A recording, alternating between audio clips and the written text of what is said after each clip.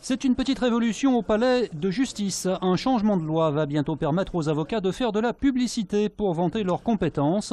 S'afficher comme un cadre du barreau, certains sont déjà prêts à franchir le pas. Spot télé ou panneau 4 par 3, tout est possible. Je pense que le, le, poste désormais communication, publicité doit devenir important chez les avocats. Ça fait partie de notre activité. Il faut être visible. Vous savez, euh, sur une ville comme Lyon, par exemple, il y a plus de 3500 avocats. Et euh, pour sortir la tête de l'eau, bah, il faut se montrer. Alors les audiences, c'est une belle vitrine. C'est sûr que surtout quand les médias sont là, ça permet d'être visible. Mais pour ceux qui font moins d'audience, eh ben, il leur reste justement la publicité. Mais avant de pouvoir s'afficher en ville comme une marque de cosmétiques, les avocats devront encore attendre le décret d'application de cette nouvelle loi. Après, entre confrères, ça risque aussi d'être un peu le Far West.